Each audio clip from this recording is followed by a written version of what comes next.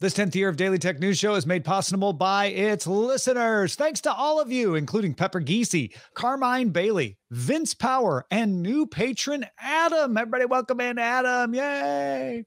On this episode of DTNS, is there anything left to talk about besides Sam Altman being fired by OpenAI? Yes, the CEO of Cruise quit. And there's a connection there to OpenAI. This is the Daily Tech News for Monday, November 20th, 2023 in Los Angeles. I'm Tom Merritt.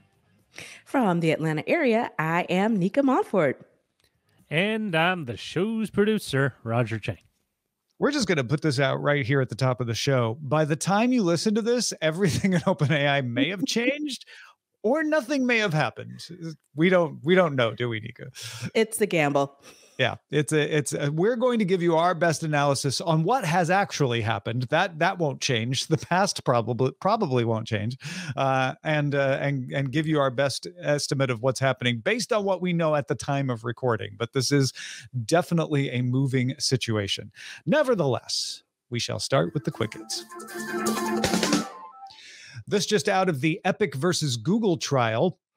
Google's head of global partnerships, Don Harrison, confirmed that Spotify paid nothing, 0% commission when users chose to buy subscriptions through Spotify's own system, and 4% if they used Google's system, which is much less than the standard 15% that other App Store developers pay. Harrison uh, said that Spotify's popularity was enough to justify a bespoke deal. And then Google confirmed that a small number of developers that invest more directly in Android and Google Play have different service fees than other developers. Google did not name who those other developers are.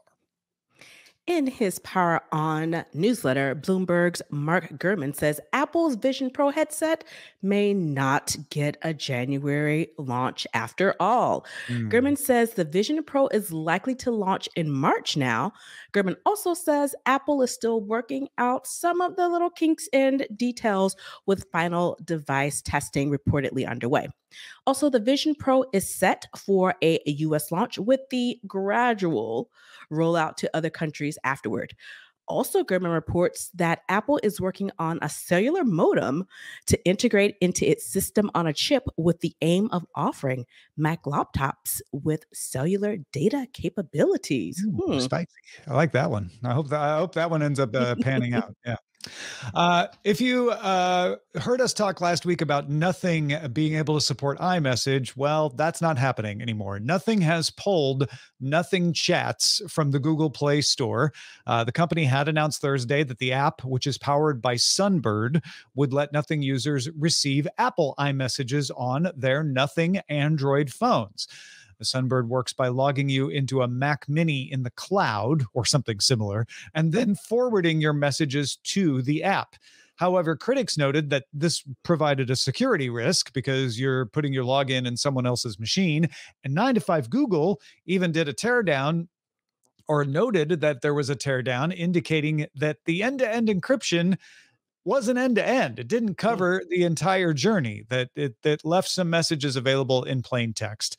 Nothing stated on X that it was quote delaying the launch until further notice to work with Sunbird to fix several bugs. I wonder what happened to call them to pull this. Mm. Um, Tinder is redesigning its profile page to appeal to Gen Z users, isn't everybody? Features include conversation starters, quizzes, tags, and a dark mode. Conversation starter prompts include the key to my heart is, mm. the first mm. item on my bucket list is, and two truths and a lie. TechCrunch notes competing app Hinge uses similar prompts. Wired ran um, an article Saturday, that was just this past Saturday, saying that Gen Z users um, have been leaving the dating apps. And Axios Generation Lab polls found that 79% of college students do not use dating apps regularly. To me, which is no surprise. Oh yeah, hey, that's that's a lucrative market and growing market that they need to recapture. Uh, finally, scientists at Lanzhou University in China published a paper in the journal Science Advances describing a prototype for an implantable wireless energy device. The biodegradable device can receive and store energy to power bioelectric systems, things like sensors for monitoring your health or uh, small devices that deliver drugs in particular amounts. The devices improve on existing implantable power sources that are usually single use. These can be used multiple times over a longer period of time. The new device uses a magnesium coil to charge when a power transmitter is placed on the skin above the implant, and then the power is stored in a module made of zinc supercapacitors. The amounts of zinc and magnesium are below the daily intake recommendations for people. So when they get reabsorbed in the body, they're just used as nutrients. Uh, tests in rats worked for up to 10 days, and the device fully dissolved into their bodies within two months. All right, let's uh, let's uh, talk about the other firing. Uh, Sam Altman leaving OpenAI AI wasn't the only drama at the top of an AI related company this weekend. Kyle Vogt, uh, VOGT, resigned as CEO of Cruise. Uh, Cruise is the company he co founded and then sold to GM. He had been working in charge of Cruise under GM. His co founder, Dan Kan has also resigned. Executive Vice President of Engineering at Cruise, Mo Elshenawy, will take over as President and CEO or CTO. Uh, Cruise had, as you know, suffered numerous setbacks recently. We've talked about a lot of these on the show. Last month, the California Department of Motor Vehicles suspended its permit so that it was not allowed to operate autonomous vehicles without safety drivers. Uh, the DMV said Cruise withheld seven seconds of video regarding an October 2nd incident where a pedestrian was struck by a Cruise vehicle. Cruise uh, said that they provided all the video that was requested. There's a little dispute about that. Uh, but in addition to losing that permit to operate without safety drivers, uh, Cruise paused all of its driverless testing, whether it was in California or not. Uh, also of note, Kyle Ooh. Vogt co founded Twitch along with Emmett Shear. And we're going to get to that in a little bit, but Emmett Shear is the new CEO of OpenAI, and he just took that job today. So it could be just coincidence. I don't know. Uh, but but Nica, uh, e- explain your connection to this story and and and, and what you think of it. So, um, uh, I right when Cruise was being um, bought by General Motors and onboarded, I actually um, worked with some of the Cruise folks to. Um, at that time, I was doing back end development um, for HR systems. So, Mhm. getting uh, those folks, you know, integrated into our system, you know, knowing the tech stack um, as related to getting them onto uh, HR. And at this time, it was they were still in a garage, you know, getting, you know, they they had just Getting up, been up, and- this up and running. partnership. Huh? Yeah, yeah. Yeah, yeah, it was just joint venture. And at the time, that was really something surprising because usually GM is a huge company. They buy things, they envelop them, and they keep going. But this was more of a joint venture, more of a partnership, and it wasn't a, a, a full buy. So um, you know, that's my kind of little disclaimer that um I Mhm. do have, you know, some level of inner working knowledge um from Cruise and the relationship to GM based on my um, you know, past employment. Um, I think this um, is is an interesting concept. Um, the way that this kind of all played out, um, it seems as if it was something that was likely already in the works and possibly kind of moved up.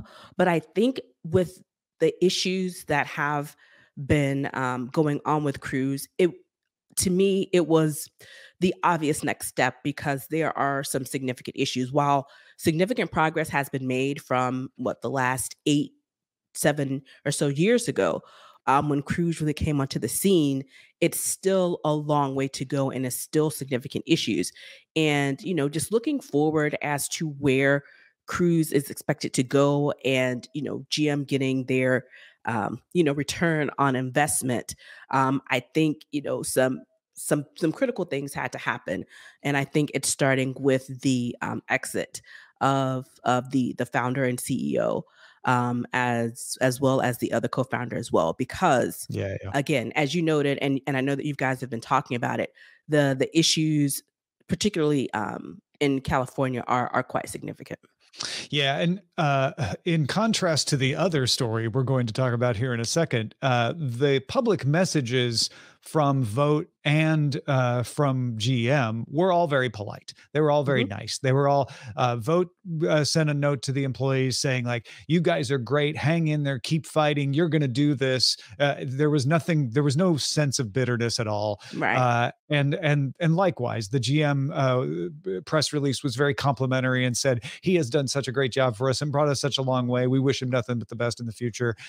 this feels more like Vogt probably wanted to go and there mm-hmm. was there were so many things that they could lay at his feet uh, with these recent missteps uh, that that for investors it was it was going to be a good look anyway. So yeah. Uh, whether there are hard feelings, sometimes there are hard feelings behind the scenes, and these play out nicely in in in the, in the in, yeah in the press. Um, that may be, but it doesn't it doesn't appear to be that. Uh, However, that is not true of what seems to have happened at OpenAI. There were some complimentary things said about Sam Altman and such, uh, and we'll get to those. Uh, but but there's obviously a lot more going on behind the scenes in that one. Yeah. Uh, so we'll, let, let's uh, let's talk about that here in a second. First, though, if you have feedback about anything that gets brought up on the show, you know, if you have some inside information about what's happening at OpenAI, get in touch with the DTNS audience on the socials at DTNS Show on X formerly Twitter. Uh, also, DTNS Show on Mastodon at mstdn.social, Daily Tech News Show on TikTok, and DTNS Pix, DTNS PIX on Instagram and Threads previously on OpenAI. Uh, man, it was a wild uh, weekend. Uh, let's let's try to recap, everyone. Uh, we heard about it right before the show on DTNS. So they mentioned Sam Altman getting fired at the very beginning of the show. Uh, here's everything that we know has happened, uh, and these are the facts. OpenAI's board announced late Friday that it fired CEO Sam Altman over not being, quote, consistently candid in his communications. Uh, a source later told Wall Street Journal that no single incident led to the dismissal. Uh, the statement had said that Greg Brockman would stay on, but he didn't. He quit. Mira Murati was named on Friday as interim CEO. She's the CTO of OpenAI. And Altman is well known for having multiple projects underway at once. WorldCoin, we've talked about WorldCoin, a prominent example. Uh, that's it's it's his cryptocurrency identity verification project. It's not the only one. So coming up with a project that you could argue had conflict of interest wouldn't have been hard reports began to come out that board member and co-founder Ilya Sutskever and board member and Quora CEO Adam D'Angelo were likely the driving forces behind Altman's ouster, but all four other board members, besides Brockman and Altman, voted uh, to get rid of him. It was suspected that it might have been over disagreements regarding safety and profit, but later the safety concern was denied, leading profit. We'll get to that. Altman went to OpenAI Sunday, like when he went to the building uh, with a guest pass that he posted on on X uh, to negotiate his return, but it broke down uh, over his demand to have the entire board replaced. Apparently, it was it was more about whether there would be an apology and things like that. But but for whatever reason, uh, it broke down. OpenAI then named former Twitch CEO Emmett Shear the guy who co-founded Twitch along with a few other people, including Dan Vogt, formerly of Cruise. Uh, Emmett Shear is now the new CEO of OpenAI. Shear said he would hire an independent investigator to look into the firing of Altman. Then Microsoft Satya Nadella announced Microsoft had hired Altman, Brockman, and several other OpenAI leaders for a new AI research team, though some sources are saying that's in a holding pattern because we're still waiting to find out what's actually going to happen at OpenAI.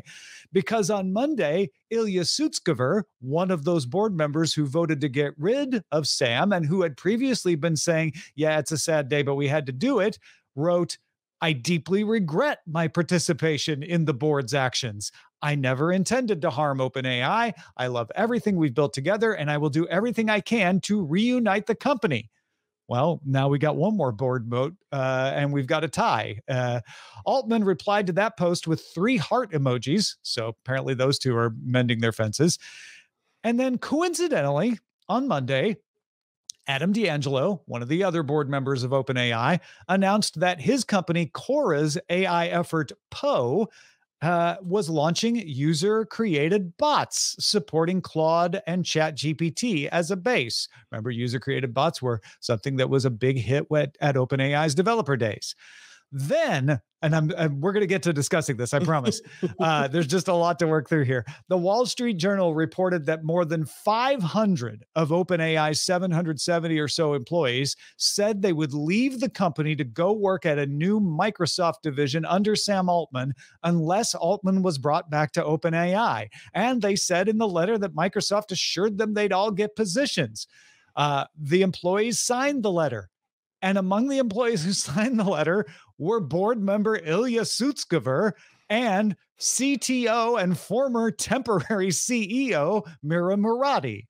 Uh, Altman has most recently posted, We are all going to work together some way or other, which The Verge says means the fight is continuing. Altman may be trying to flip two more of those board members to vote his way and overturn the decision to dismiss him and remove the existing board. So those board members would be the aforementioned Adam D'Angelo of Quora, as well as Tasha McCauley, who works at RAND as a senior management scientist, and Helen Toner, who's a director at a Washington nonprofit. So board member intrigue for sure, and loads of unexpected, sudden behavior, flipping of alliances. It's Game of Thrones inside of OpenAI. Uh, Nica, what did you make of this from when you heard it and watching it play out over the weekend? The limited series on Netflix is going to be amazing. That's what my wife was... said originally. She's like, I saw someone who said Aaron Sorkin better get to work on the script right away. I mean, Succession, AI, Open AI edition. Mm-hmm. Yep, um, yep. Because it was just really, you could watch the the fallout in real time, and it was just like one minute it's one thing. The next, I mean, it just it was pretty amazing to watch. Um, I'm sure all the non tech folks are like, what? What are they talking about? I don't know. I'm confused.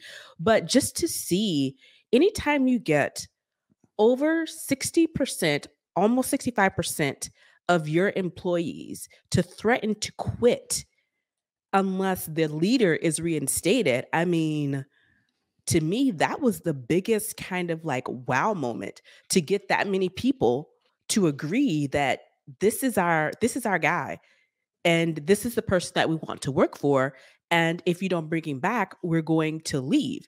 So it's one of those things where i think microsoft had to act quickly open eye open ai the the remaining leadership and the new leadership they had to you know get this done like we said over a weekend because when the markets opened they didn't want they didn't want this to tank because there are a lot of investors who get really spooked when it comes to this type of thing because it's like the company is in turmoil. Like, what are we going to do? What is our mm-hmm. return? What is our investment looking mm-hmm. like? And they had to, I think they had to move really quickly to try and stop some of the bleed and stop some of the panic. And to me, um, Nadella, he's the winner. Either way this goes, he's making out like a bandit.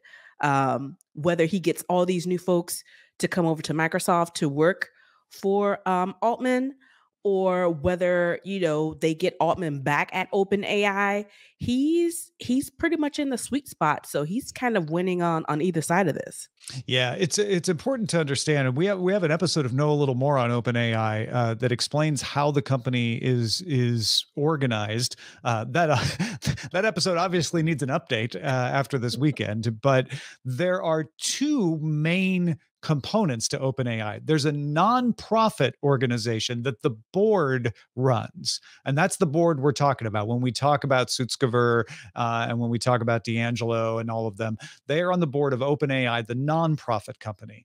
That company fully owns uh, or majority owns a for profit company called OpenAI Global LLC. Uh, and what's interesting about this entire situation is that OpenAI's board is not under the control of shareholders of OpenAI Global LLC. Those board members are beholden to public interest. The charter of OpenAI is a be- public benefit nonprofit. It's a 501c company, uh, and it's charged with developing AI consistent with a benefit for humanity. Whereas the for profit company can make a profit. However, it's profit capped. So Microsoft has invested in the for-profit company, but it, there's a limit to how much money it can make back. Now, granted, it's a it's a big limit. They can make a lot yeah. of money back, but there is a cap on how much they can make back. That's important to understand as to why the board members can get away with voting against the interest of a major investor like Microsoft because they're not beholden to Microsoft. Uh, it also explains why there could be a rift between, and this is one of the theories that was put out by a lot of people over the weekend, between people who believe that OpenAI has been moving too fast, either to pursue profits or to pursue uh, artificial generalized intelligence in an unsafe manner. Uh, Sutskever has been much more cautious about how fast they should develop OpenAI than Altman has. And so some people thought, well, maybe that's the split. And maybe it was because Sutskever did vote to get rid of him. But apparently Sutskever had a change of mind and was like, well, my, my gap isn't that big uh, and has swung back Altman's way. So I think then you look at the other board members to see, well, who else might benefit from Altman being gone? It's hard to see too much uh, from the member who is at Rand uh, it's hard to see too much from the member that is at uh, the Washington nonprofit, which leaves Adam D'Angelo, who has a competing product in Poe at Quora. And the reason he can be on the board is because it's a nonprofit. And so yeah. he you know he doesn't have a vested interest in the shares of OpenAI Global LLC. Anyway, your guess is and good in mine whether it was D'Angelo or anybody else. But yeah. if you want to understand the dynamics behind it, that that's important to know. And it also seems to me that um, I was seeing somewhere that the for-profit board is on Altman's side. It's the nonprofit.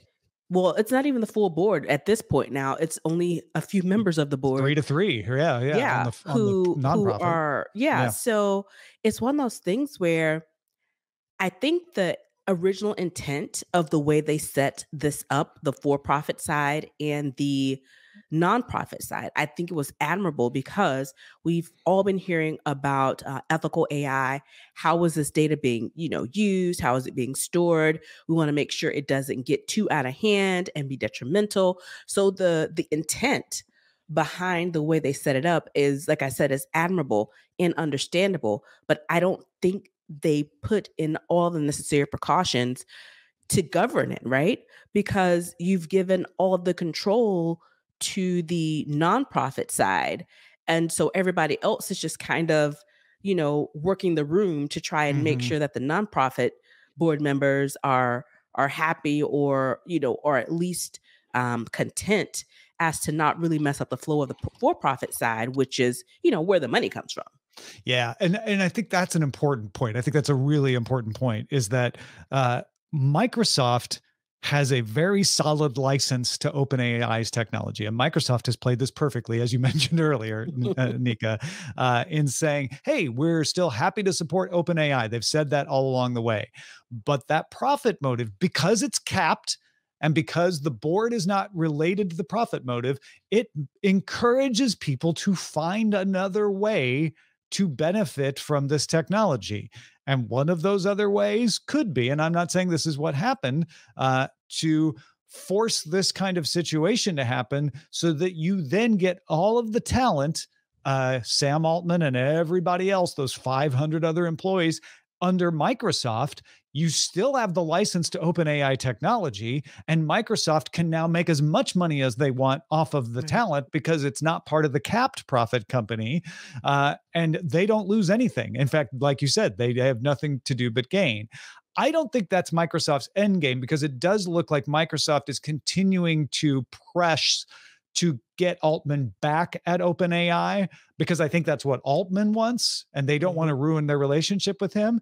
But they very clearly are using their licensing position and their 49% ownership as leverage to say, yeah. look, if you want to keep Altman out, then we're going to basically take everything from OpenAI Global LLC and develop it in house, which down the road could turn OpenAI into just a, a licensing company and nothing else. Mm-hmm. Yeah, just a shell of, of what they once were because we all know, you know, Altman has been the face of OpenAI and the the brains behind the the operation, so to speak, along, of course, with the other talent. But he is the most notable face that goes along with OpenAI. And if, like I said, you know, Microsoft wins either way, but if they can get those 500 people, the 65% of Yeah. OpenAI over under their umbrella, give Sam his team back, give him, you know, free reign to, you know, run this research group and make a boatload of money without any type of hindrance. I mean, honestly, that might uh, be the the best, you know, thing for for Microsoft, but they're, you know, making sure they play this very dipl- diplomatically depending on, you know, which side of the coin this comes off of. And what I do, I do kind of feel bad for um what's his name, Eugene what's his last name? The the interim CEO, he's coming into this, you know, when the fire hose is still going. It's still a five alarm fire and he's trying to, you know, settle the the employees that are there trying to hold on to them and not you know see them all sprint towards microsoft because you're cutting your workforce down to you know 30 some odd percent of what you have left and the people that are leaving are likely your most senior your most involved talent. So he really has um you know quite the task before him in addition to all of the PR stuff. And then what if they bring Sam back? Where does this leave this guy? Because Right. he left Twitch, um, you know, just what nine or so months ago. I mean, Left in March. Yeah. His Yeah, name is it- Emmett Emmett Shear. Emmett yeah, he Shear. he left Twitch in March. Yeah. Emmett Shear, not Eugene. Sorry about that. Yeah. yeah, but cool. um, yeah, and it's they brought this guy. He's been I- I I read his statement on Twitter. Um, you know, he he had a child. The this his baby's like nine months, and he's basically come out of his, you know, I'm going to relax and be with my family time to come back into this type of, you know, stressful, unknown, ever evolving situation. And if OpenAI agrees to Altman's demands and brings him back as CEO, where does it leave him? Where does it leave the staff? I mean, it's yeah. What's his a lot. motivation for taking this very Right. uncertain position so quickly? right. Um, and and and is there any connection to Vogt leading leaving Cruise uh, the day before? Uh, Shear goes back to the Y Combinator group, which also is where Sam Altman came from. Uh, so it's not impossible. I mean, they certainly know each other, but it's not Right. impossible that there's some other connection uh, going back there. Uh, yeah, it is a uh, it is a story of Silicon Valley intrigue uh, that not even all the players in Silicon Valley know exactly uh, what's going on at this point. Um, but uh, like I said, by the time you listen to this, there probably will be more shoes have dropped, and uh, we will we will continue to to try to keep up on that and update the story again on the next show once we get the details. All right, before we go, let's check out the mailbag. Matt writes, Hello, DTNS. I've probably owned around 10 cars since I started driving at 16, and all of them have been manuals, meaning manual transmissions. He's writing in response to our story on Friday with Tim Stevens about the electric vehicle that acts like it has a manual, even though electric vehicles don't need manual transmissions. Uh, Matt says, all of them were slow, boring, and definitely not enthusiast cars, unless you're the Hello Road YouTube channel, think 1988 Chevy Nova. The manual transmission added a bit of fun to my otherwise boring cars. The manual also meant nearly all my friends couldn't borrow my car. And now that I live in an area with high car thefts, my manual car is less likely to get stolen.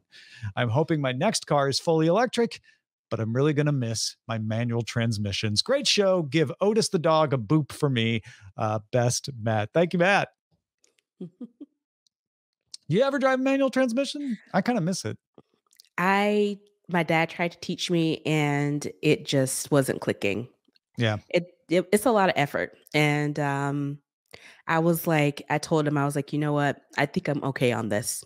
Uh I, I appreciate your effort, but um, I think I'm just going to stick with the automatic. Thank you. I bought a 1992 Saturn that was a manual transmission, and just kind of was like, well, I guess I need to learn because I bought this car and and figured it out.